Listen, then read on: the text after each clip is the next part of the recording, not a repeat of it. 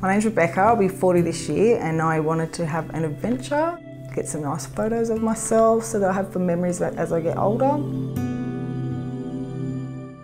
I was so nervous, I was worried about being looked at and then I sat down and started getting my makeup done. And as soon as my makeup started getting done, I started to relax.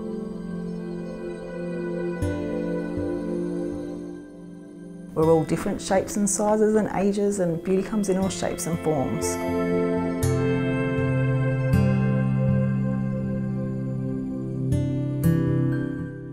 It's really nice to be in a place where you can do something special for yourself and not feel embarrassed or ashamed or just feel beautiful.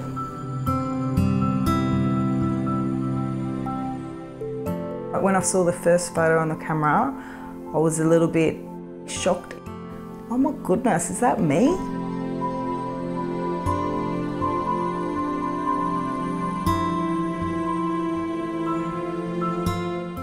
The idea that a, a, sexy woman has to be size 8 and 21, um, beauty's in the eye of the beholder. We can all look beautiful at whatever age we are, with our lines and lumps and bumps and bits and pieces.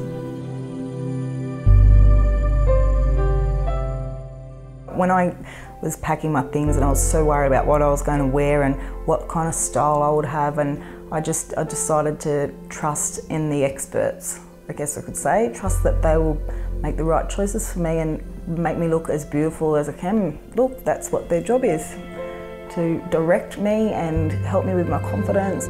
So afraid of, of people seeing pictures of me and um, thinking that I'm not beautiful or sexy.